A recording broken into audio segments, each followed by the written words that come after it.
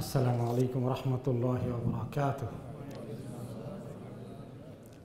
الحمد لله رب العالمين والعاقبة للمتقين والصلاة والسلام على نبينا محمد وعلى آله وأصحابه أجمعين সম্মানিত ভাইরা এবং যারা মিডিয়ার মাধ্যমে শুনতে পাচ্ছেন বা মরিয়াম সিরা থেকে শুনতে পাচ্ছেন বোনেরা সবাইকে আজকের এই সিরাতুল নবী প্রোগ্রামে ওয়েলকাম আমাদের সিরাতুল নবীর ধারাবাহিক আলোচনায় আমরা তৃতীয় পর্যায়ে নবী করিম আসলামের আলী বাইত পরিবারের সদস্যদের সম্পর্কে বিস্তারিত আলোচনা শুনে আসছি।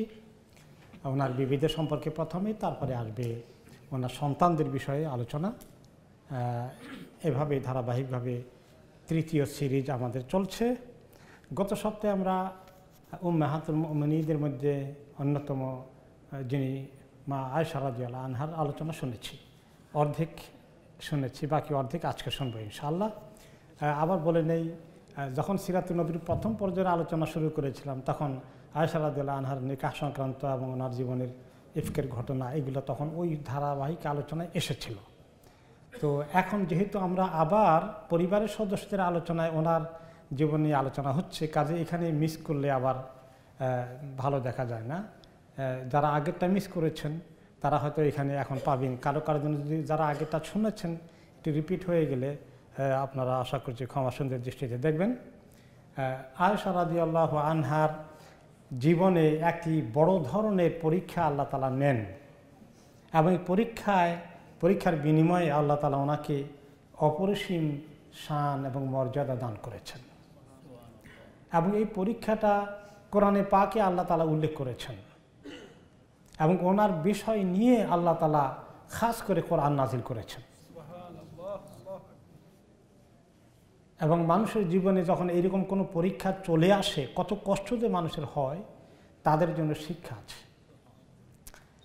আমরা আবার আসি তাহলে সেই ঘটনাটায় যে আয় সারাদিয়াল আনহা বলেন যে নবী করিম সাল্লাম যখন কোনো সফরে বের হতেন, তখন তিনি ড্র করতেন লটারির মতো, কোন বিবির নাম উঠবে তাকে নিয়ে যেতেন।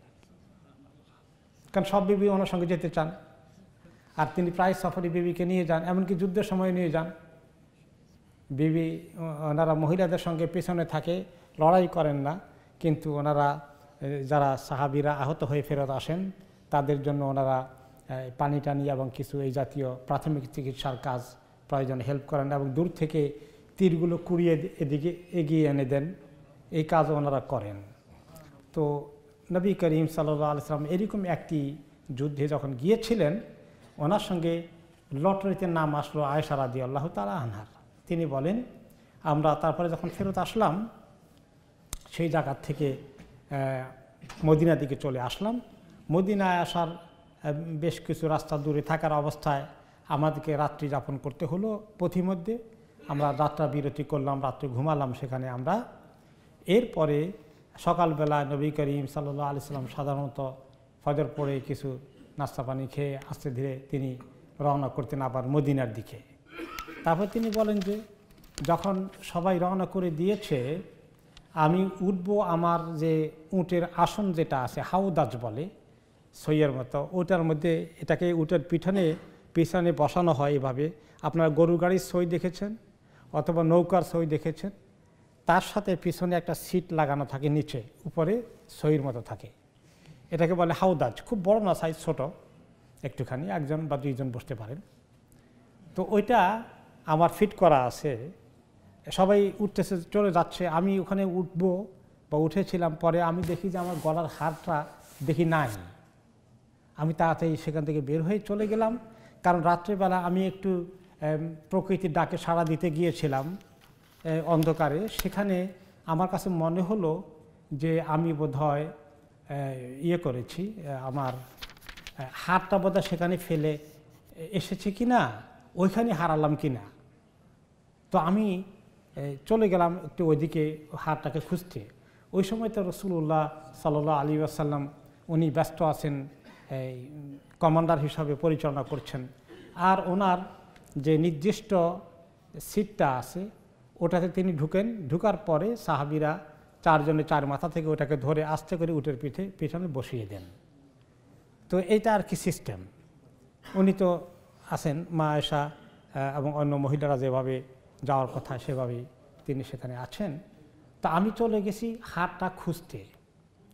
খুঁজতে খুঁজতে গিয়ে আমার একটু লেট হয়ে গেছে, পাচ্ছি না। আর ইতিমধ্যে যারা চারজনে উঠান ওটাকে ধরে ওনারা খালি সিট উঠে পিঠের উটের পিছনে বসে দিয়েছেন। মনে করছেন আমি ভিতরে আসি তো একজন মানুষ থাকলে তো ওজন বেশি হয়। না থাকলে তো হালকা, ওনারা মোটেই টার পেলেন না। তো অন্য হাদিসে আসছে মায়েশারা দিয়ালানা বললেন যে, আমি আসলে ওই সময় বেশ হালকা পাতলাই ছিলাম তো। ওনারা এত খেয়াল করেন নাই। আমার ওজন এত বেশি ছিল না বিদায়। ওনারা মনে করেছেন আমি ভিতরে আসি আস্তে করে বসে রওনা করে চলে গেছেন। ওকে। তারপরে তিনি বলেন হার যখন পেয়ে গেলাম, এখন আমি আসলাম, এসে দেখি যে সবাই তো চলে গেছে। ইন্না আলিল্লা কি বড় বিপদের কথা, একলা মহিলা, সব কাফেলা বহুদূর চলে গেছে।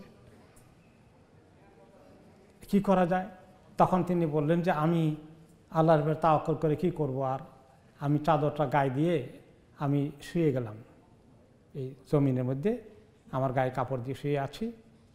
একটু, তো ইতিমধ্যে আমার ঘুম চলে আসলো, তো আমি ঘুমিয়ে গেলাম। তারপরে দেখা গেলো যে একজন সফান ইবনুল মুআত্তাল আসসালামী রহমাহুল্লাহ রাজি আল্লাহ আনহু, তিনি ওনাকে নবী করিম সাল্লা সাল্লাম সবার পেছনে পাঠাতেন যে দেখো কিছু বাকি আছে কিনা, কেউ বাসি বাকি আছে কিনা, কোনো কিছু হারা, হারিয়ে গেল কিনা খোঁজার জন্যে।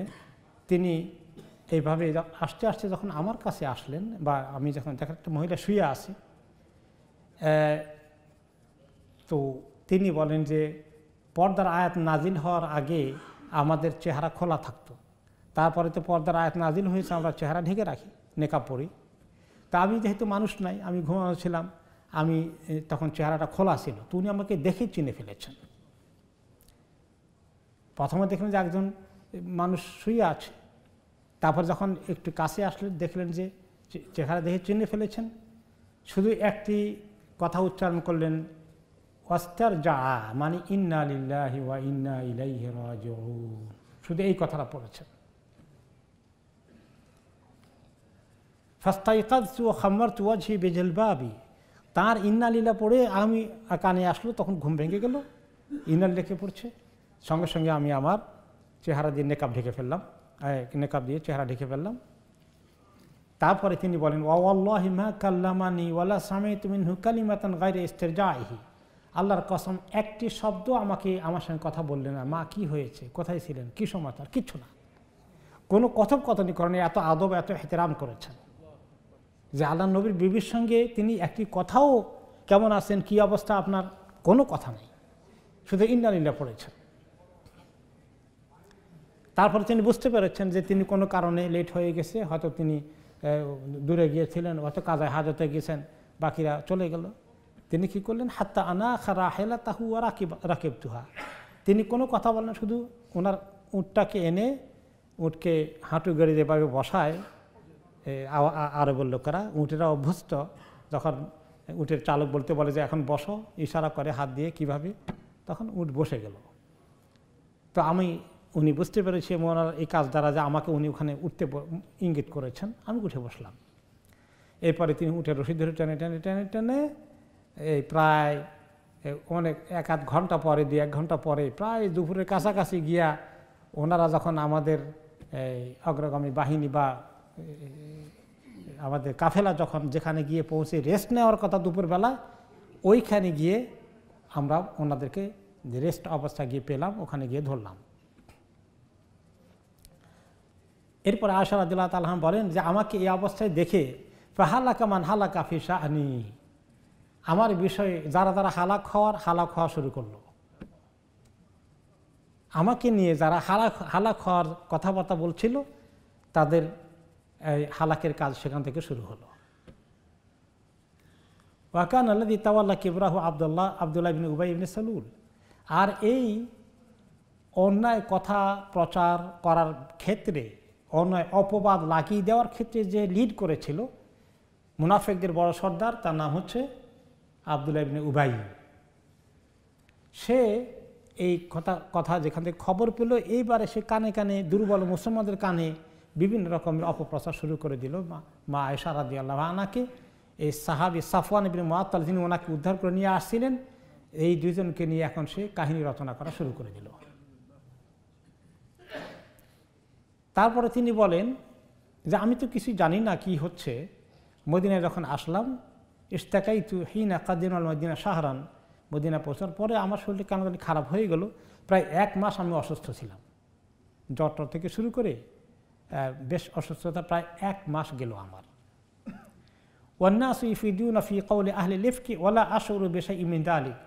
আমি কিছুই জানি না, পরে শুনলাম যে আমার বিষয়ে রাষ্ট্র হয়ে গেছে। আমার অপবাদ ছড়িয়ে গেছে গোটা মদিনার মধ্যে।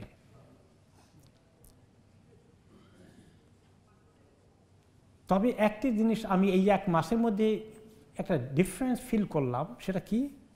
ওয়ুরিবুনি ফি ওয়াজি আল্লাহ আরিফা মিন রাসুলিল্লাহ সাল্লাহ আলিয়াল্লাম লুৎফা আল্লাদি কুন্তু আরা মিনহু হিন আস্তা কি তো একটা জিনিস খালি আমার কাছে খটকা লেগেছিল। এই এক মাসে আমি যখন অসুস্থ রসুল্লাহ সাল্লাহ সাল্লাম আমাকে দেখতে আসতেন, কিন্তু উনি আগের মতো যেভাবে আমি অসুস্থ হয়ে গেলে অস্থির হয়ে যেতেন, কি করবেন, না করবেন আমার জন্য, এরকম আন্তরিকতা না দেখে কেন জানি আমার মনের ভিতরে কি একটা খটকা লাগল। তো উনি আমার সঙ্গে এরকম করেন কেন? কি করেন দেখতে আসে শুধু ডেলি একাধবার এসে বলেন ইন্নামা ইয়াদুল রসুল্লাহ সাল্লাম ফাইসাল্লিম, সালাম দিয়ে বলে, কাইফা তিকুম, কাইফা হালুকুম। কেমন আছো? ঠিক আছে কিনা কেমন আছো? এই কেমন আছো বাইরে আর কোনো কথা নেই। তারপর চুপ করে যান উনি। এটা আমার মধ্যে একটা প্রশ্ন থাকতো যে উনি এরকম করেন কিন্তু আমি কিছু তো জানি না। এরপরে আমি যখন মোটামুটি একটু সুস্থ হয়ে গেলাম, শারীরিক সুস্থতা কিছু কেটে গেল, তা আমি আর নবী করিম সাল্লা আমার সঙ্গে এরকম ব্যবহার করছেন যে আমাকে তিনি সে আন্তরিকতা দিয়ে আর আমার সঙ্গে কথাবার্তা বলেন না, আমার একটু কষ্ট হচ্ছে, তো আমি বললাম যে ঠিক আছে, আমি একটু বাতাস খেতে যাই এবং একটু একটু বাইরে যাই, একটু ঘুরে আসি। এত এক মাস ঘরে বন্দি আসি তো রাতের বেলায় ওনারা দিনের বেলায় এই হাওয়া খেতে বের হন না। রাতের বেলায় মহিলারা মাঝে মধ্যে একটু বের হতেন যে আমি এক মাস অসুস্থ। তো উম মোমেশটা ওনার এক দূরের আত্মীয় আছেন, ওনাকে নিয়ে বের হলাম। যে একটু রাতের বেলা একটু বাতাস, মুক্ত বাতাস নিয়ে আসি, বিছনা থেকে উঠছি, উঠেছি আমি। তো আসতে গিয়ে মহিলাটা তার পায়ের কাপড় লেগে এক জায়গায় হুট করে পড়ে গেল, একটা পাথরের মধ্যে ইয়ে লেগে, মহিলাটা পড়ে গেল। ওনার উম্ম মিস্তাহ, মেস্তাহের মা। তো পড়ে গিয়ে বলে তাইসা মেস্তাহ মেস্তা ধ্বংস হোক, তার নিজের ছেলের ব্যাপারে। তো কুলতি মা কুলতি। আমি বললাম, যে আল্লাহ, নিজের ছেলেকে এরকম বদ্ধ করে নাকি? কি করলেন এটা? আতুসবিনা রাজুরান কাদ শাহিদা বদরান, আর আপনার ছেলে মেসটা তো বদর যুদ্ধে শরিক হয়েছে। বদরে মানুষদের একটা শান আছে, আপনি তাকে বদরের যুদ্ধে শরিক হওয়া ছেলেকে আপনি এরকম করে কথা বললেন, এটা কি ঠিক হলো? তখন তিনি বললেন আওয়াল্লাম তাসমা ইমা কল? তুমি শুনো নাই? মেস্তা কি বলেছে? মেস্তা ছিল এই অপকর্মের অন্যতম হতা। এই মায়ের ছেলে, উম্মে মুস্তাহ ছেলে মেস্তা। তুমি শোনো না মেসা কি অপপ্রচার করে বেড়াচ্ছে? কুলতু অমাদা কলাম মেস্তা কি বলেছে? আখবারাত নিবি কৌলে আহলিল ইফক। এখন তিনি আমাকে পুরো ঘটনা বললেন, আমার এফকে মানে আমার বিরুদ্ধে অপবাদ নিয়ে যে কি চলছে রটনা, সব আমাকে বললেন। এই আমি শুনলাম প্রথম। এক মাস পরে, এক মাসের ভিতরে এরকম হয়ে গেছে। ফাজদাত মারদান আল্লাহ মরদি, আমার অসুস্থতা একটু ভালো হচ্ছিল, মনে হয় আবার আমি আরও মারাত্মক অসুস্থ হয়ে পড়লাম। এমন হিট করল এটা আমাকে। ফালামা রাজা তুল্লা বাইতি দেখালা আলাইয়া রাসুল্লাহ সাল্লাহ আলী আসসালাম ঘরে যখন প্রবেশ করলাম রসুল্লাহ সাল্লাহ আসলাম আসলেন, আমাকে এভাবে যেভাবে দেখতে আসেন। আমি ওনাকে তখন বললাম সালাম দেওয়ার পর আমি বললাম যে আমাকে একটু আপনি পারমিশন দেবেন আমি আমার মা বাবার ঘরে একটু যাই। ওখানে কয়েকদিন বেড়াতে যাই আমি।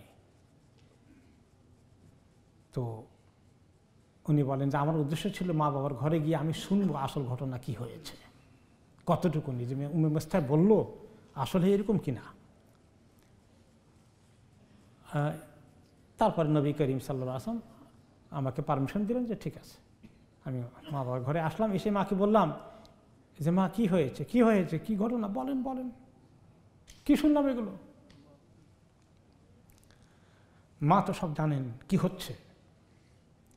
নিজের মেয়ের ব্যাপারে কি কথা গোটা মদিনায় ছড়িয়ে গিয়েছে। বলেন, ইয়া বোনাই হাউনি আলাই মা, থামো, একটু সবর করো, একটু এত অস্থির হইও না, এত অধৈর্য হইও না। বলতো সুবহান আল্লাহ ওকার তাহাদ্দাসনা তাহাদ্দাসান্নাস বিহাদা সত্যি লোকেরা আমার ব্যাপারে এই সমস্ত কথাবার্তা বলে বেড়াচ্ছে এগুলো চলতেছে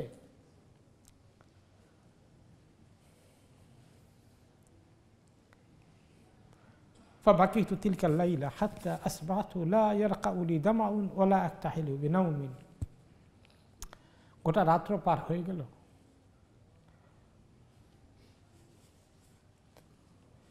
চোখের পানি থামাতে পারি না, একটু ঘুমোতে পারিনি মা আশা বলছে, সারা রাত্র গেল, আমার চোখের পানি আর থামে না।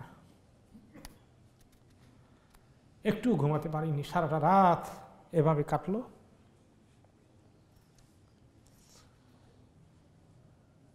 এরপরে বাবা আনাল বোকা ফালে কাবাদি। আমার মা বাবা মনে করছেন, মেয়েটা বলে আমার কাঁদতে কাঁদতে মরেই যাবে।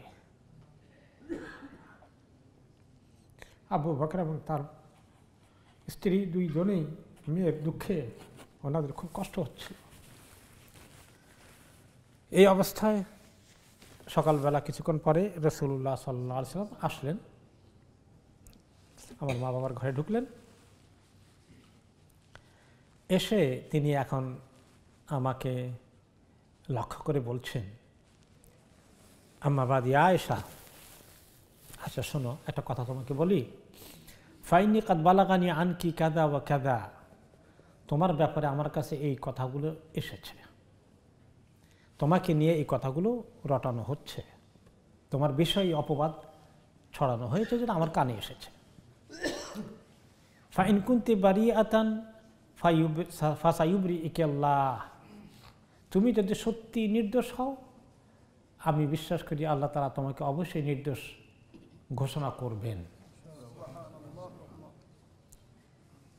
ওয়াইন কুন্তি লামাম আলমামতি বেদাম্বিন ফাস্তাক ফিরিল্লাহ ওয়াতুবি ইলাইহে।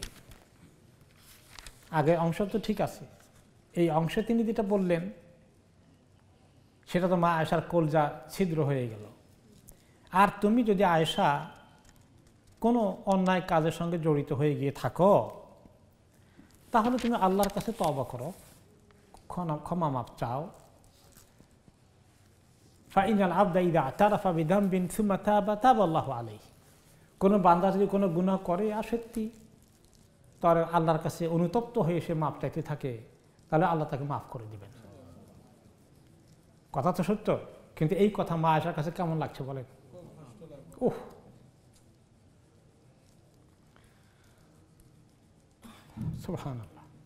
খুব কষ্ট হয় আসলে বলতে কাদা রসুল্লাহ কালাসা দামি হাত্তা মা মিনহু কাতরাহ। তিনি যখন কথা এটা বললেন, আমার সমস্ত চোখের পানি শুকিয়ে গেল। এক ফোঁটা পানিও আর চোখে দিয়ে আসে না। কারণ কি? বাংলা কি কথা আছে? অল্প শোকে কাতর কাতর, অধিক শোকে পাথর। পাথর হয়ে গেছে আমি।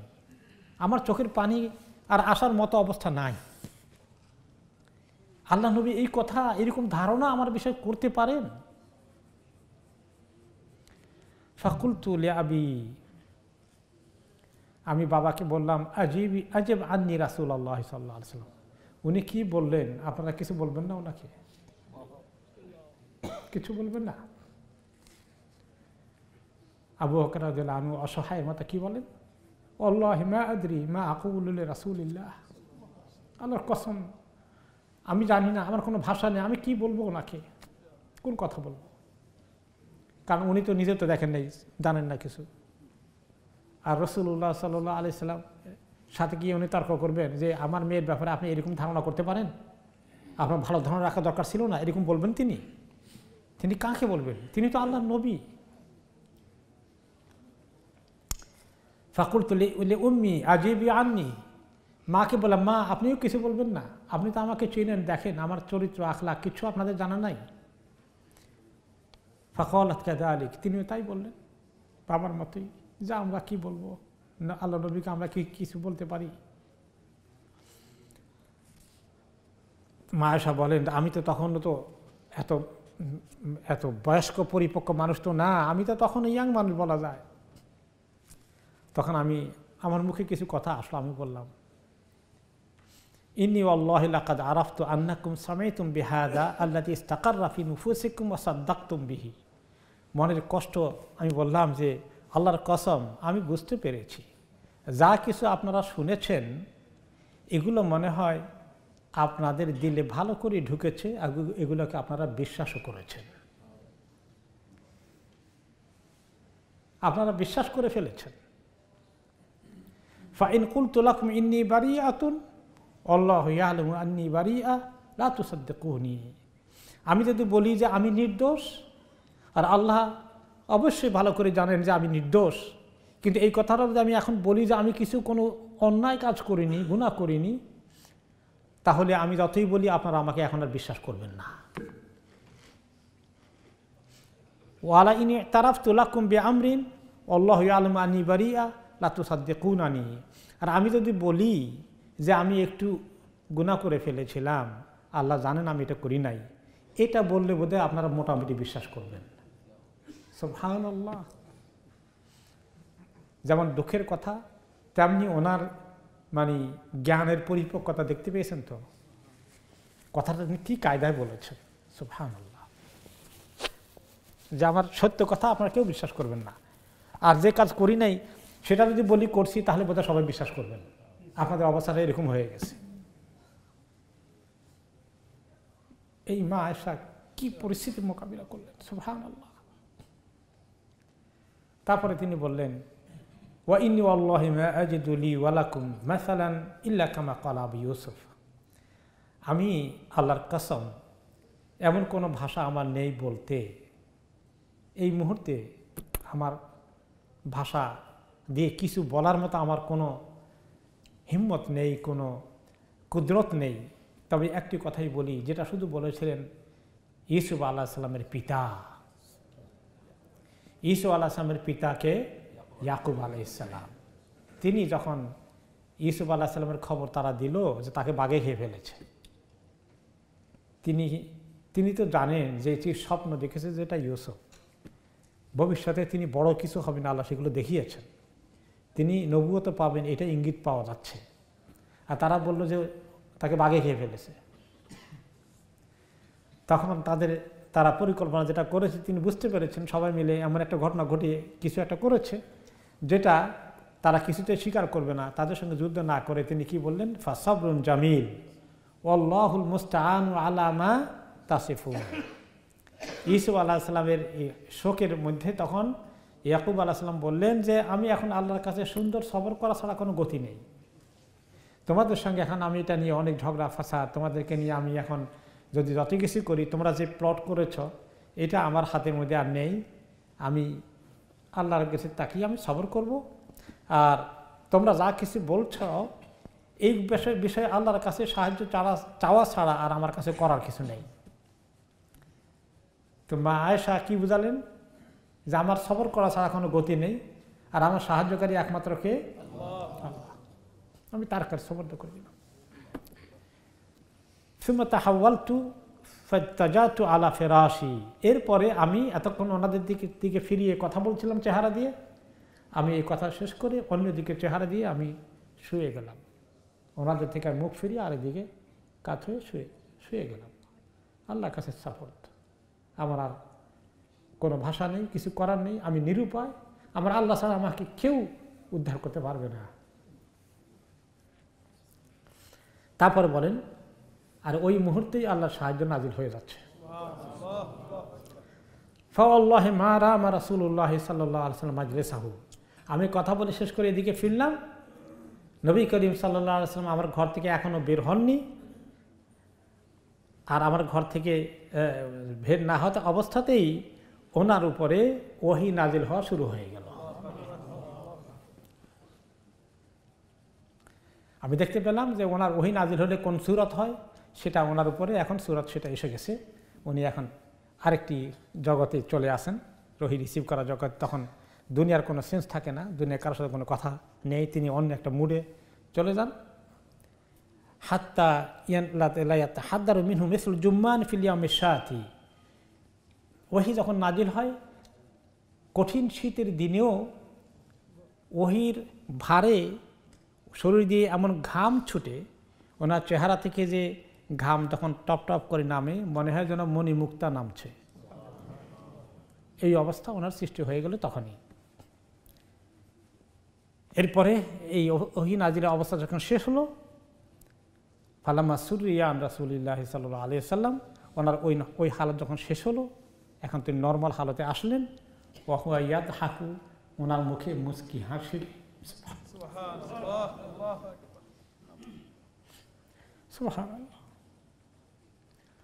মা এসে আল্লাহ কত বড় পরীক্ষা করে দিলেন كان أول كلمة تكلم بها أن قال أبشري يا عائشة أما الله فقط براءك الله প্রথম কথা যেটা মুখ দিয়ে বের করলেন সেটা হলো, আলহামদুলিল্লাহ আয়সা আল্লাহ তালা তোমাকে নির্দোষ ঘোষণা করেছেন। তোমাকে নির্দোষ ডিক্লার করে দিয়েছেন। তোমার চরিত্রে কোনো কালিমা লেপন হয়নি। তুমি নির্দোষ। তখন তো মা বাবা পাশে আছেন, ওনারাও খুশি। ফাকালাতলি উম্মি কুমি ইলাইহে।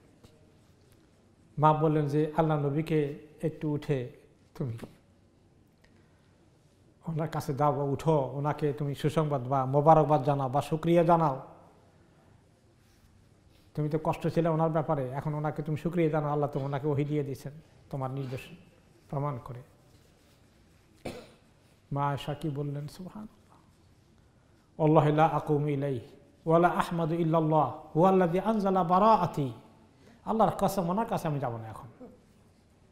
আমি কারও শুক্রিয়া আদায় করব না, একমাত্র সে আল্লাহ শুক্র আদায় করব, প্রশংসা করব, যিনি আমার নির্দোষ প্রমাণ করে ওহি নাজিল করেছেন, সেই আল্লাহ শুক্র আদায় করব শুধু। এরপরে মিস্তাহ ছিল আব্বু বকর রাজি আল্লাহর আত্মীয় এবং সে তার বাবা নেই। তাকে নিজের ঘরে লালন পালন করেন এই মেসটাকে এই যুবককে। খাওয়ার দাওয়া থেকে শুরু করে থাকার ব্যবস্থা সব আবু বকর রাজিয়াল জিম্মাদারিতে। এই মেসটা এই অপকর্ম যে লিড করছে, এটার খবর ওনার কাছে আসে তিনি বললেন, আল্লাহর কসম, আমি এখন থেকে আর এই মেসটার কোনো দায়িত্ব গ্রহণ করব না, তাকে ঘর থেকে বের করে দেব। তার মানে আমার ঘরে থেকে, আমার ঘরে খেয়ে, আমার এত এহসান নিয়ে, আমার এত ক্ষতি করল, আমার মেয়েটাকে এত কষ্ট দিল এই জালিমকে আমি ঘর থেকে বের করে দেব। যেখানে খুশি সেখানে থাক তার কোনো দায়িত্ব আমি আর নেব না। তো আল্লাহ তালা সেটা নিয়েও আরেকটি আয়াত নাজলি করে দিলেন। সেটা হচ্ছে সুরা নূরের বাইশ নম্বর আয়াত। ওয়ালা ইয়াতালি উলুল ফদল কুমার শাহ আন ইউতু উলিল কুরবা ওয়াল মাসাকিন আল মুহাজিরিন ফি সাবিলিল্লাহ। যারা তোমাদের মধ্যে সামর্থ্যশালী আছে যাদের টাকা পয়সা ইত্যাদি ভালো আছে, তারা যদি এরকম কোনো তাদের আত্মীয়, গরিব, মিসকিন জাতীয় এবং মহাজের হিজত করে চলে এসেছে, এই আল্লাহর রাস্তায় অসহায় হয়ে, এরকম কোনো লোককে যারা এরকম উপকার করতো, তাদেরকে খাওয়াতো, তাদেরকে জায়গা দিত শেল্টার দিত, তোমরা কসম করে তাদেরকে এই শেল্টার দেওয়া, এই ভালো কাজটা বন্ধ করে দিও না। ওয়ালি আফু আলি মমিনগণ এভাবেই ক্ষমা করুন এবং মন থেকে তাদের কষ্ট দূর করে সরিয়ে দিক। ক্ষমা করে দিক যারা তাদের, যারা তাদেরকে কষ্ট দিয়েছে তাদেরকে। আল্লাহ তো হেব্বুন ফের আল্লাহ লাকুম। তোমরা কি চাও না যে আল্লাহ তোমাদেরকে মাফ করে দিন? ওল্লাহ গাফুর রাহিম। আল্লাহ অনেক ক্ষমাশীল, অনেক দয়াময়। তাহলে কেউ যদি অপরাধ করে, তাকে ক্ষমা করে দিলে আল্লাহ তালা আমাদেরকে ক্ষমা করে দিবেন। আর আমরা যখন অপরাধীকে ক্ষমা করতে পারি না ইচ্ছা আছে চাইলে ক্ষমা করতে পারি কিন্তু করি না মনের জিদ মনের কষ্ট মনের গোষ্ঠা দমন করতে পারি না তখন কিন্তু আমরা আল্লাহর একটা স্পেশাল অফার মিস করি। আল্লাহ তো হাইবুনা ইয়াকফির আল্লাহুল আকুম কি সুন্দর করে আল্লাহ বললেন আচ্ছা তোমরা কি চাও না আল্লাহ তোমাদেরকে মাফ করে দিক? এটা কত বড় কাজ। আপনাকে যে কষ্ট দিয়েছে আপনার তাকে মাফ করে দিতে পারা, এটার মতো খুশির কাজ আল্লাহর কাছে আর কোনোটা নেই। কারণ আল্লাহ তো মাফ করা পছন্দ করেন। আল্লাহ কাফুন তো বলে আফা আফু আমি রমাদানে আসছে সেই এই দোয়া আমাদের সামনে আসবে। তাহলে আল্লাহ তালা এইটা পছন্দ করেন। তো আবু বকর দিল্লা আলহু আলহু শুনে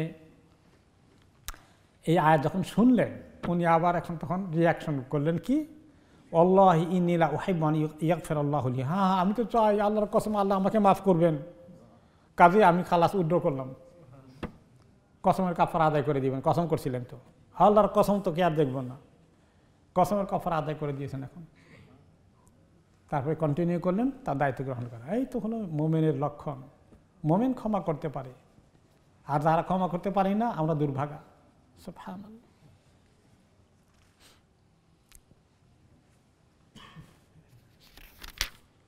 এরপরে আল্লাহ তালা আরেক আয়াত নাজি করলেন এই সুরা নুরেই তেইশ নম্বর আয়াতে ইন্নাল্লাদিন ইয়ারমুন আল মোহসানাতিল মুমিনাতে মোহসানাতিল গাফিলাতিল মুমিনাতে লুইনু ফি দুনিয়া ওয়ালা আখেরা ওয়ালাহুম আজাবুন আদিম নিশ্চয়ই যারা নির্দোষ মহিলাদেরকে, যারা কোনো ধরনের অপকর্মের কোনো আগ্রহী নয়, কোনো চিন্তাও করে না, এরকম নির্দোষ গাফেল যাদের কোনো এই দিকে কোনো নজরই নাই এই জাতীয় উল্টোপাল্টা কাজের দিকে। এই সমস্ত ভালো মহিলাগুলোকে, মমিন মহিলাগুলোকে যারা অন্যায় কর্মের অপবাদ লাগিয়ে দেয় অপপ্রচার করে লো আইনুফির দুনিয়া বলে আখেরা। তারা দুনিয়া এবং আখেরাতে লানাতের শিকার হবে। ওয়ালাহুম আজাবুন আদিম তাদের জন্য আল্লাহ কাছে কঠিন আজাব কাজেই আমাদের সমাজে আসে দেখবেন কোনো কোনো সময় কোনো কোনো ব্যাপারে দুশ্মনী করতে গিয়ে একটা ভালো মহিলার ক্ষেত্রে এবং তার চরিত্রকে নিয়ে অন্যায় কথা রটিয়ে দেয়, প্রচার করে ফেলে কোনো কোনো জায়গায়। যারা এটা করে, আল্লাহ কি যে সাংঘাতিক, আল্লাহ লানাতের কথা নিজে কোরআনে বলছেন তাদের কথা। এবং বলেছেন, দুনিয়া এবং আখড়াতে উভয় জায়গা তাদের জন্য কঠিন আজাব রাখছেন রেডি করে। কত মারাত্মক কথা। কিন্তু আমাদের সমাজের মধ্যে আমাদের দুর্বল, দুর্বলতার কারণে মানুষ বলে করে যে, আখেরাত কী হবে দরকার নেই তারাই দুনিয়াতে যদি ডুবাইতে পারি, আমাকে আমি কামিয়াব।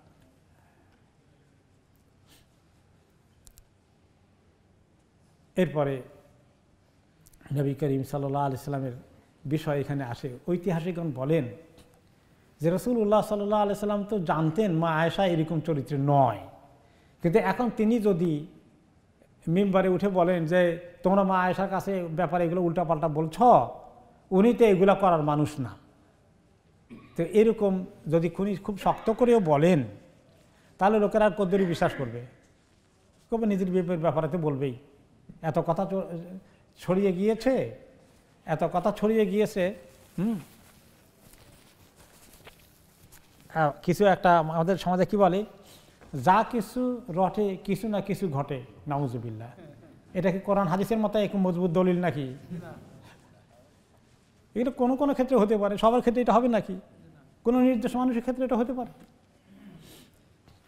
তো নবী করিম সাল্লা সাল্লাম এই এক মাস তো গেল, এই এক মাসের ভিতরে তিনিও তো অনেক কষ্টে আছেন। না বলতে পারতেছেন যে আমার বিবি যদি ভালো আছে, খুব জোর করে বেশি করে যদি বলেন, তাহলে লোকেরা বলবে নিজের বিবিদের সাফাই গায়। ওনার কাছে প্রমাণ কি আছে? এত মানুষও বলতেছে। কিছু না, যা কিছু রটে, কিছু না কিছু ঘটে। এগুলো মানুষের মাথায় তখনও কাজ করতে পারে। তারপরে একদিন তিনি কি করলেন? ওই ওহিনাজির হওয়ার আগের কথা। তিনি একদিন মেম্বারে আলোচনা করলেন। ইয়ামা আশাল মুসলিমিন। মুসলমানদের মধ্যে যারা আসো ভাই, মুসলমান ভাইরা, কথা শোনো। মানে ইয়া আজরুন মিন রাজুলিন কাদবালাগানি আদাহুফি আহলি বাইতি। আমাকে কে বুঝাবে ওই লোকটাকে যে আমার বিবির পরিবারের ব্যাপারে এই উল্টোপাল্টা কথা সারা মক্কা ছড়িয়ে, সারা মদিনা ছড়িয়ে দিল? এখানে ওই আব্দুল বিন উবাই আর কি সেই মেস্টা টেস্টাকে সেই ব্যবহার করেছে। তো এই বড় মুনাফেকটা যে এই কাজ করছে এটার ব্যাপারে তোমরা কেউ তার সঙ্গে কথা বলি, তারে থামাতে বুঝে পারবা না। এরকম কিছু কেউ নাই তোমরা। ফাওয়াল্লাহ মা আলিম তো আল্লাহ আহলি ইল্লা খাইরান। আমি আমার পরিবারের ব্যাপারে যদ্দূর জানি, ভালো ছাড়া তো অন্য কিছু আমি কখনো চিন্তা করি নাই। দেখি নাই কিছু তাদের মধ্যে এই জাতি উল্টাপাল্টা কিছু। ওলাকাত জাকারু রাজুলান মা আলিম তো আলহি ইল্লা খাইরান। আর যাকে, যে পুরুষটাকে নিয়ে এই ঘটনা জোড়া দেওয়া হয়েছে সাফওয়ান রাজি আল্লাহনহু সে তাকেও তো আমি চিনি যে সে তো একটা নেককার মানুষ, একটা দিনদার মানুষ, একটা ভালো মোমেন। তাকে নিয়ে যেগুলো বলা হয়েছে, এই কথাগুলো কি আসলে কোনো ভিত্তি আছে? এগুলো কি কেউ পারবে না থামিয়ে দিতে? তো কিন্তু মুসলমানরা তো অনেকে এগুলো বিশ্বাস করেন নাই। কিন্তু এখন কথা হলে তারা ওইটা নিয়ে যেহেতু আল্লাহ নবী জীবিত আছেন, এর চেয়ে বেশি তো ওনারা আর কি করবেন? সময় এভাবে চলে গেল। একটি মাস অনেক কষ্ট হয়েছে। রসুল্লাহ সাল আলী ওয়াসাল্লাম তিনি তিনি নিজে মাঝে মধ্যে একটু মানুষ তো। নবী হওয়া সত্ত্বেও তো তিনি মানুষ। মাঝে মধ্যে তিনি আবার চেক চেক করার চেষ্টা করেছেন। বান্দিকে বলেছেন যে, বান্দি, ওনার খেদমত করে বেশি করে। আচ্ছা বলো তো মা আয়সার ব্যাপারে তোমার ধারণা কীরকম? ওনার ভিতরে তুমি কোনো সময় উল্টাপাল্টা কোনো ধরনের চিন্তা ভাবনা করে কোনো হরকত বরকতে কিছু তোমার মনে হয়েছে? কেয়ার আসল্লাহ কিচ্ছু এগুলো দেখি নাই। শুধু একটা জিনিস দেখছি বলে কী সেটা? বলে যে রুটি বানানোর জন্য আটার খামির বানায় যে আটার মন্ড বানায়। বানায় এখন রুটি বানাবে। বানাতে বানাতে তারপরে যে হঠাৎ করে ঘুমিয়ে গেছে ঘুমাই রয়েছে। তো মাঝে মাঝে মুরগি টুরগি এসে ওই আটা খেয়ে চলে যায়। খালি এর দূর দেখছি, আর কোনো নেগেটিভ কিছু দেখি নেই। আলী রাজিয়াল আনহুকে জিজ্ঞাসা করলেন, তোমার ধারণা কি? আমার পরিবারের ব্যাপারে তোমার চিন্তা ভাবনা কি কে আসলে এগুলো তো আমরা কেউ কিছু জানি টানি না। তবে যদি আপনি চান, ওনাকে বিবি না রেখে অন্য আরেকজনকে বিবি নিতে চান, সেটাও তো আল্লাহ তালা আপনাকে সুযোগ দিচ্ছে মহিলাদের তো অভাব নাই। উনি এই কথা বলার কারণে মা আয়সা খাবার কানে খবরটা গিয়েছে, পরে উনি সারা জীবন কষ্ট পেয়েছেন আলী রাজি আলহীর কথার কারণে। আচ্ছা যাই হোক পরবর্তী পর্যায়ে আল্লাহ তালা ওই ওই আয়াতগুলোর মধ্যে এটাও সুরানুরে এগারো নম্বরে আসছে যে তাদেরকে শাস্তি দেওয়ার জন্য করা যা অপবাদের শাস্তি শাস্তি কার্যকরী করা হয়েছে এবং তাদের মধ্যে হাসান এমনি সাবেত রাদিয়াল আনহু, যিনি নবী করিম সাল্লা আসলামের সভাকবি ওনার নিজেকে কবিতার সাহিত্য দিয়ে জাহিলি কবির তার মোকাবিলা করেছেন। উনিও এই অপকর্মের অপকথার মধ্যে ছড়িয়ে পড়েছিলেন। ওনাকেও শাস্তি কার্যকরী করা হয়েছে। পরবর্তী পর্যায়ে রসুল্লাহ সাল্লাহ আসলামকে এবং সাহাবাদেরকে এই বিষয় নিয়ে যে ভুল বুঝাবুঝি হয়েছে তাদেরকে ক্ষমা করে দেওয়ার জন্য এটা নিয়ে আর কোনো ধরনের খারাপ ধারণা পোষণ না করার জন্য আল্লাহ নসিহত করেছেন। তিনি বলেছেন যে ইন্নাল্লা দিনা যা উবিল উফকে ওসপাত মিনকুম যারা এই এফকের ঘটনা, অপপ্রচারের ঘটনা, অপবাদের ঘটনা নিয়ে এসেছিল, এরা তোমাদের মধ্যে একদল মানুষ, কিছু তো মুনাফিক ছিল, বাকিরা আসলে মুসলিম, মেস্তাহ মুসলিম, কিন্তু অন্যায় কাজটা করে ফেলল। লা তাহসাবুহু সার্লাকুম এটাকে খুব খারাপ মনে করো না, বাল হুয়া এর মধ্যে খায়ের আছে তোমাদের জন্য। খায়ের তো আছে, কিন্তু মা মা আয়সা তো ক্ষতি হয়ে গেছে, ওনার খায়ের হবে না এখন? এই যে কষ্ট পেয়েছেন একটি মাস, এটার কারণে ওনার, আল্লাহর কাছে পাওনা কি পরিমাণ নিশ্চিত হয়েছে? মাজলুম। তো ওনার জন্য খায়ের হয়ে যাবে এটা। আর কিছু মুসলিম যারা উল্টাপাল্টা করেছিল লেকুলিম ইমিন হুম্মাক চাষাবা মিনাল এসএম যারা এরকম উল্টাপাল্টা করেছে, তারা তো অবশ্যই কিছু গুণা ভাগী হয়ে গেল। ওয়াল্লাদি তাওয়াল্লা কিবরাহু মিনহুম লাহু আদাবুন আদিম আর তাদের মধ্যে যেটা সবচেয়ে বড় দায়িত্ব পালন করেছে, বড় নটের গুরু যেটা ছিল আব্দুল বিন উবাই, তার জন্য কঠিন শাস্তি রেডি করে রেখেছেন আল্লাহ। এই জন্য তার কপালে ইমান জোটে নেয় নেফাক নিয়ে এসে মৃত্যুবরণ করেছে আব্দুল বিন উবাই। বাকি মেস্তা থেকে শুরু করে হাসান বিন থাবা থেকে শুরু করে বাকিরা সবাইকে হয়তো আল্লাহ তবা করেছেন তবা মাফ করে দিবেন। কিন্তু ওনাদের এই এই তবাটা অনেক কঠিন তবার দরকার হবে। এত সহজ না। অনেক জঘন্য অন্যায় করেছিলেন।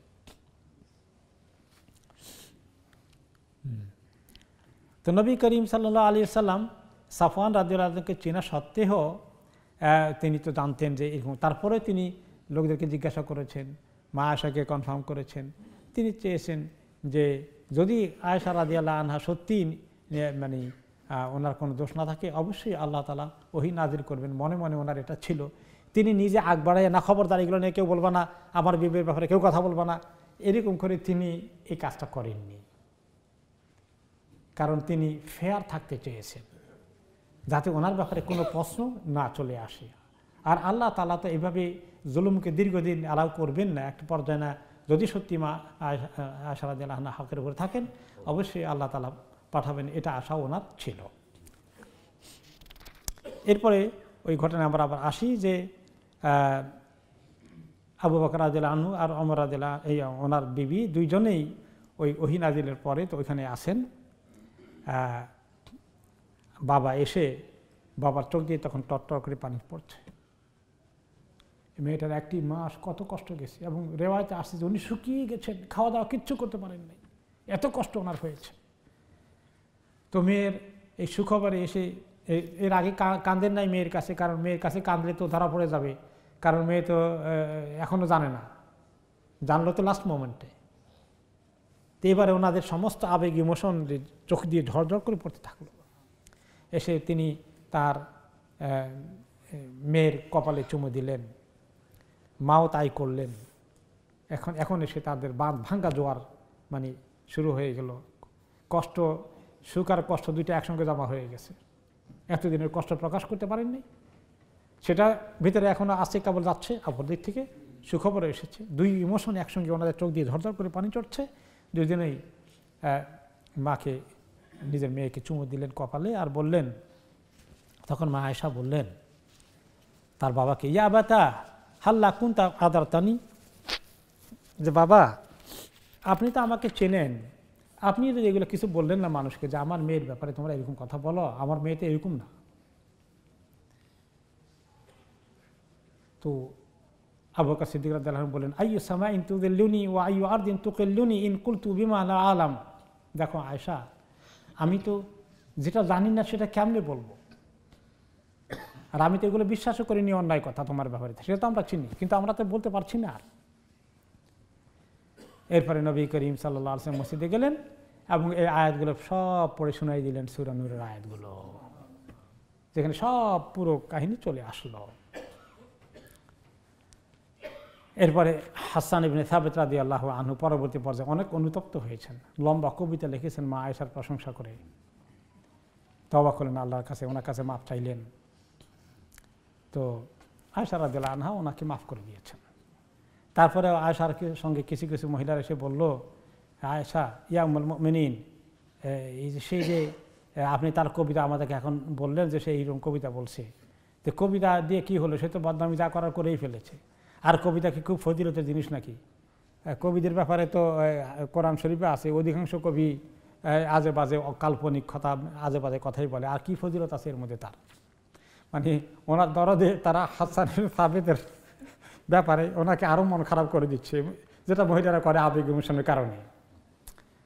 তো তিনি যখন বললেন যে সেটা আমার এখন কবিতা লেখছে তো তারা বললেন "এ, কবিতা লিখছে আলাই সাহেব লাগওয়ান এটা তো আরেক আরেক বাজে জিনিস।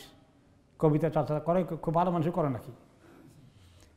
তো বললেন যে লা ইন্নামা লাগু মা কিলা আনিন্নেসা কোরআন শরীফে সুরা সোয়ারার মধ্যে আমরা তাফসিরে আছি শেষ আয়াতের দিকে আছে, শেষের দিকে আছে, যে আল্লাহ তালা বলেছেন, অধিকাংশ কবিরাই ভালো না। অধিকাংশ কবিদের তারা শুধু মনের খাহেশকে অনুসরণ করে। তো সেটা আল্লাহ তালা কোন সেন্সে বলেছেন? যারা মহিলাদের বিভিন্ন রকমের সৌন্দর্যের এই সমস্ত জিনিস নিয়ে কবিতা রচনা করে, আরব দেশে এগুলো খুব বেশি ছিল। যে কোনো কবির মধ্যে ওইটা না থাকলে কবিতার শুরু হয়ে যাবে মহিলাদের ওই সমস্ত গুণগান গেয়ে। এটা ছিল আরবি কবিদের যারা মাদ্রাসা পড়েছেন, সাবা মুআল্লাকাত। আসার মুআল্লাকাত যারা মাদ্রাসা পড়েছে, আমরা সবাই এই কবিতাগুলো পড়তে হয়েছে। বলে মাদ্রাসা পড়ছেন এ সমস্ত প্রেমের কবিতা পড়তে গেছেন কেন? সমস্ত বড় বড় আল- আলেমরা এই সব প্রেমের কবিতা এগুলো পড়ে আসছে। কারণ কি জানেন? কারণ হলো এই কোরআন নাজিল হওয়ার প্রায় দুইশো বছর আগে আরবি সাহিত্যের উৎকর্ষ সাধন হয়। এই দুইশো বছরের ভিতরে এই বড় বড় কবিগুলো আসে। সেগুলোর ভাষা পিওর অ্যারাবিক আর কোরআনের ভাষার সঙ্গে সেগুলো ভাষা শৈলী মিলে। কোরআনের মধ্যে ওই শব্দ দ্বারা কী বোঝানো হয়েছে, তাফসির করার জন্য ওই আরবি সাহিত্যের কবিতাগুলো দরকার হয়ে পড়ে। এই জন্য বড় বড় আলিমরা সবাই কবিতা একদম এই প্রেমের কবিতা মুখস্থ করা লাগছে। বহু কবিতা মুখস্থ করতে হয়েছে। তো যাই হোক তিনি বললেন যে ওই আল্লাহ নিষেধাজ্ঞা দিয়েছেন, অপছন্দ করেছেন, নিন্দা করেছেন, ওই কবিতাগুলো যেগুলো খামাখা মহিলাদের বিভিন্ন রকমের বিষয় নিয়ে এই প্রেমের কবিতা রাখে, ওগুলোকে আল্লাহ নিন্দা করেছেন। হাসান তো সেগুলো বন্ধ করে দিয়েছে যখন তিনি ইসলাম কবুল করেছেন, তখন তো রসুল্লাহ সাল্লাহ পক্ষে তিনি কথা বলেছিলেন। মা আশারাদ আনহার আলোচনা শেষের দিকে আমরা চলে এসেছি। আমরা দু একটা জিনিস নিয়ে আসব। যে তিনি বলেন যে, মা আশা নিজে বলেন যে আমি ওনার সঙ্গে যখন ছিলাম, ঘর করেছি স্বাভাবিকভাবে উনি আমাকে সবচেয়ে বেশি পছন্দ করতেন, আমি এটা জানি, এটা বুঝি। কিন্তু তারপরে চান্স পেলেই খালি খাদিজার প্রশংসা করতেন। চান্স পেলেই খাদিজা রাজের আমি প্রশংসা করেন। তা আমি বললাম যে আল্লাহ হিম্মা আপনাকে আল্লাহ এত সুন্দর তার চেয়ে বুড়ো মহিলার জায়গায় জওয়ান মহিলা এনে আপনাকে ঘরে দিল আল্লাহ তালা এরপরে খালি কত আগে মরে গেছেন, বুড়ি মহিলার কথা খালি বলতেই থাকেন। তিনি বললেন, যে, যত জিন্দা আমার সতীন আছে, কারও ব্যাপারে মানে এত কষ্ট না খাদিদের ব্যাপারে এত কষ্ট তৈরি আসে কারণ বারে বারে খালি খাদিদের প্রশংসাই করে। তো আমি যখন একদিন বললাম, একটু আমার বিদের বিরক্তি এসে গেলো যে বুড়ো মহিলার কথা খালি বলেন, আপনার ঘরে আরও জোয়ান মহিলা আছে না? এর চেয়ে ভালো আপনাকে দেন নেই আল্লাহ তালা তো রসুল্লাহ সাল্লাম বললেন ওল্লাহিমা আবদাল্লাহ খাইরা মিনা না, আল্লাহর কসম, আল্লাহ তার ওরা খাদিজার থেকে ভালো কিছু আল্লাহ আমাকে দেন নাই। আল্লাহর কসম দেন নাই। লাকাত সদ্দাকাত নি হেইনা কাদাবানি নাস সেই আমার উপরে প্রথম ইমান এনেছে যখন আমাকে কেউ বিশ্বাস করেনি নবী হওয়ার পরে।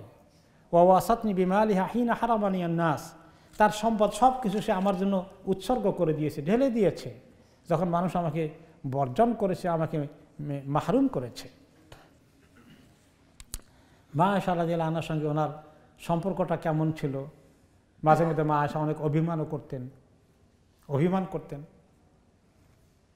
তিনি নবী করিম সাল্লা আসলাম ওনাকে সেভাবে ডিল করতেন, যখন অভিমান করে তিনি তাকে আবার বকাধকা করা এগুলো কিছু করতেন না। তো একদিন তিনি বলেন যে আয়সা শোনো, ইন্নি আলামু ইদা কুন্তি আন নিরা দিয়া ও ইদা কুন্তি আলাইয়া গাদবা আলাইয়া গাদবা। আয়সা আমি ঠিকই টার পাই কোন সময় তুমি আমার উপরে খুশি আসো আর কোন সময় একটু নাখোশ আছে, আমি সব টার পাই। বলে, কেমন এটা পান কুলতু বলে যে, আম্মা ইদা কুন্তি আন নিরা দিয়া ফাইন ফাইনাকে তাকুলিন লা ওরাব্বা মুহাম্মদ। যখন খুশি থাকো, তখন বলো যে, মোহাম্মদের রবের কসম করে বলছি। ওয়াইদা কুন্তি গদবা কুলতিলা ও রব্বে ইব্রাহিম। আর যখন অসন্তুষ্ট থাকো, বলো যে, ইব্রাহিমের রবের কসম করে বলছি। মানে আমার নামটা তো থেকে তখন আসে না। তখন মা আসাব বলেন কুলতু, আজাল আল্লাহ রাসুল্লাহ ঠিকই বলছেন, আপনি ধরে ফেলেছেন। এরকমই করি আমি। আয়সা রাদিয়াল্লাহ তালা আনহা নবী করিম সাল্লাহ আলিয়ামের সঙ্গে থাকলেন। আল্লাহ তালা যখন ওনাকে নিয়ে গেলেন। এরপরে উনি উনি থেকে থেকে ওনার কাছে যা কিছু এই সময়ের ভিতরে শিখেছিলেন, সেগুলো তিনি হয়ে গেছেন সমস্ত মুসলমানদের জন্য জ্ঞান, পাওয়ার বিরাট এক সোর্স ওনার আভ্যন্তরীণ জিন্দেগি। আর তিনি অনেক শিক্ষিতা মহিলা ছিলেন। তিনি অনেক প্রখর জেহেনের অধিকারী ছিলেন। প্রচণ্ড বুদ্ধিমত্তার অধিকারী। উনি এত কুইকলি নবী করিম সাল্লাম থেকে দিনের জ্ঞান আহরণ করেছেন, যেটা অনেক সাহাবিরা পরে আসতেন পর্দার অন্তরালে থেকে ওনা থেকে অনেক মাসালা জিজ্ঞাসা করে, অনেক ফতুয়া নিয়ে যেতেন এসে।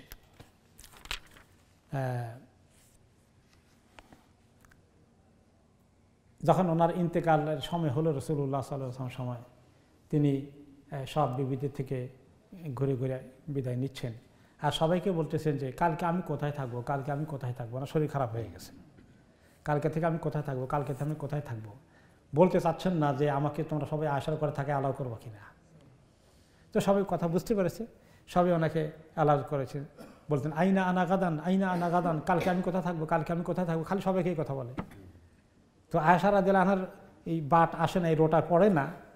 কিন্তু উনি ওখানে থাকতে চান, তো সবাই যদি ওনাকে অ্যালাউ করে তাহলেই থাকবেন। তো তখন সবাই বুঝতে পেরেছে যে ইয়েস ইয়া রাসুল্লাহ আপনি আয়সা রাজিল আনহার কাছেই থাকেন। ওনার শরীর যখন দুর্বল হয়ে গিয়েছিল, এরপরে যাই হোক, নবী করিম সাল্লাহ আলিয়াম তো থেকে চলে গেলেন। আয়সা রাজিল আনহা এই সেই ঘরে থেকে ওনাকে অনেক জ্ঞান শিখতে সাহাবিরা আসতেন। এমনকি ফরাইদের বিষয়ে। ফরাইদ হলো মিরাসের যে জ্ঞান, এটা অনেক কঠিন একটা সাবজেক্ট সব আলেমরা এই ব্যাপারে এক্সপার্ট না। কেউ মারা গেলে কার কদ্দুর অংশ আছে, এটা সহজ কিছু আছে, আর কিছু কিছু আছে এমন প্যাচওয়ালা, যে, যেগুলো সম্পত্তি মনে করেন বাপ দাদার আমল থেকে বন্টন হয় নাই, এখন গিয়ে জমা হয়েছে তিন জেনারেশনে এগুলো ভাগ বাটোয়ারা করা হেভি টাফ ম্যাটার তো সব সাহাবির এই ব্যাপারে এক্সপার্ট না। ওনার কাছে আসতেন এই মাসালার জন্য উনি এই ব্যাপারে খুব পরিপক্ক ছিলেন। ফরাইদের এলেমের ব্যাপারে। মাসরুক রাজিয়াল্লাহ আনহু একজন তাবি, তিনি বলেন, নবী করিম সাল্লাহ আসলাম থেকে আমি অনেকগুলো হাদিস ওনার মাধ্যমে পেয়েছি। অরো আরাদি আল্লাহ আনহু, যিনি ওনার ভাগিনা, আসমা রাজি আল্লাহর ছেলে, তিনি বলেন, মা রাইতু আহাদান আলামা বে ফেকিন ওয়ালা বে তেব্বিন ওয়ালা বে সুন্নাত মিন আয়েশা। আমার জীবনে আমি দেখিনি আয়েশার মতো এই ফেক্ষের জ্ঞান, ইসলামী ফেক্ষের শরীয়তের জ্ঞান এবং চিকিৎসা বিজ্ঞান জ্ঞান। এবং নবী করিম সাল্লা বিভিন্ন সুন্নত আমলের জ্ঞান ওনার কাছে যা সবচেয়ে বেশি ছিল অন্যদের তুলনায়। ওকে? আবু মুসা রাজিয়াল্লাহ আনহু সাহাবি তিনি বলেন, মে আশকালা আলাইনা আমরান ফাসা আলনা আনহু আয়েশা ইল্লা ওয়াজাদনা আইন দেহাফিহি আইলমান আমরা শরীয়তের কোনো বিষয়ে খটকা লেগে গেলে ওনার কাছে গেলে এক সুন্দর সমাধান পেয়ে যেতাম। এরপরে ইয়ে বিষয়ে আপনার চিকিৎসার বিষয়ে। ওনাকে ওরা জিজ্ঞেস করলেন আচ্ছা বুঝলাম আপনি ওনার থেকে এই কোরআন, হাদিসের জ্ঞানগুলো ভালোই শিখছেন। চিকিৎসা বিজ্ঞান কেমনে শিখলেন? চিকিৎসা বিজ্ঞানও শিখছেন। ট্রিটমেন্ট। বিভিন্ন রকমের চিকিৎসা। তখন তার মেডিকেল কলেজ ছিল না। কিন্তু আরও সমাজে কিছু এরকম যারা কবিরাজ মার্কা ছিল, মোটামুটি কিছু তো এই হারবাল কবিরাজ চিকিৎসা তো সহি জিনিস ছোটোকাল থেকে চলে আসে, তাই না? আসল চিকিৎসাতে এখন যেটা মেডিকেল কলেজের মাধ্যমে হয়, নতুন মেডিসিন যেগুলো তৈরি হয়, তার আগে অরিজিনাল যে জিনিসগুলো আছে, ওগুলো হচ্ছে সব ওষুধের মূল, তাই না? সেই হারবাল চিকিৎসা যেটা, বনাজি চিকিৎসা যেটা, বনাজি বলি আমরা, তাই না? তো এটা তিনি বলেন যে আল্লাহ নবীর কাছে অনেকেই আসতো, এসে ওনার কিছু শরীর খারাপ দেখলে, মাথা ধরা দেখলে, এটা ওটা বলতে, এটা ওটা বলতে, এটা খান, এটা করলে ভালো হবে, এটা করলে ভালো হবে, এটা করলে ভালো হবে। আমি বাইরে থেকে পর্দার অন্তরালে কান পেয়ে শুনতাম ওগুলা। শুনে শুনে ওগুলো সব আমি রপ্ত করতাম। এইভাবে ওনার চিকিৎসা বিজ্ঞানে প্রচুর জ্ঞান হয়ে গেছে। এইভাবে রসুল্লাহ সাল্লাহ আলিয়ামের এই অন্যতম প্রিয় বিবি আশারাদি আল্লাহ আনহা উনি ওনাকে আল্লাহ তালা হায়াতে তৈবা দিয়েছেন এরপরে যে আয়সারাদি আল্লাহ আনহার বয়স যখন হয়ে যায় আটান্ন বৎসর সরি না না, ঠিক আছে। আটান্ন হিজড়িতে ওনার ইন্তেকাল হয়। আটান্ন হিজড়িতে ওনার ইন্তেকাল হয় এবং ওনার বয়স ছিল তখন সাতষট্টি বছর। সাতষট্টি বয়স যখন ইন্তেকাল হয়ে যায়, গোটা মদিনার কোনো মানুষকে ধরে রাখা যায় নাই। সমস্ত মানুষ ওনার জানা যায় এবং তিনি ওসিয়ত করে গেছেন, আমার যখন ইন্তেকাল হয়ে যাবে, রাতে ইন্তেকাল হয়ে, রাতেই দাফন করে ফেলবা দিনের জন্য দেরি করব না।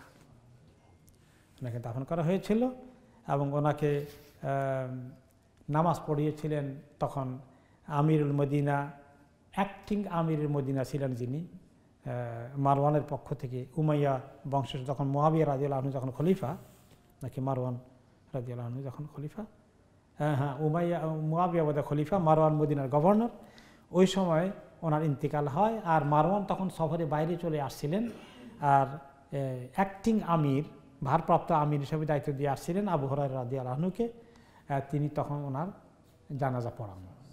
আবু হরাইরা রাজি আল্লাহ আনহু এবং ওনাকে আল বাকিতে দাফন করা হয়। বাকিতে। তো লোকেরা বলে জান্নাতুল বাকি। এ কথাটা ভুল। জান্নাতুল বাকি বলতে নয়। সমস্ত কিতাবে হাদিস, কোরআন সব জায়গায় কী আছে হাদিসের মধ্যে? আল বাকি কোনো কোনো জায়গা আছে, বাকি আল গারকাদ গারকাদ হলে একটা গাছ, বিশেষ গাছ, ওই গাছ ওখানে বেশি থাকতো। গারকাদের বাকি অথবা বাকি। তো ওখানে ওনাকে দাফন করা হয়ে যায়। আল্লাহ তালা ওনাকে রাজি আল্লাহ আনহা ওনার পরেই আমরা যে বিবির কাহিনী শুনব, হাফসা বিনতে অমর রাজি আল্লাহ আনহা আনহা, হাফসা রাজি আল্লাহ কাহিনী আমরা শুনব ইনশাআল্লাহ। আজকে আমরা এখানে শেষ করছি।